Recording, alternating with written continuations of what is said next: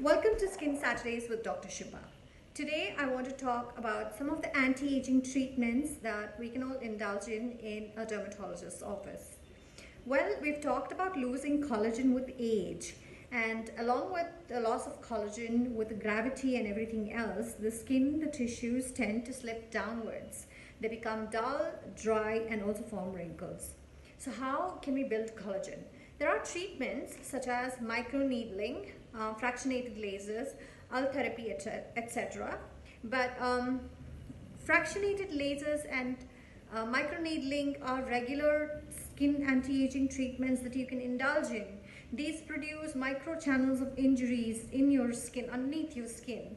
And this causes your skin to produce collagen. This is how we can take care of the suppleness and the firmness of our skin. I'll see you next time. Thank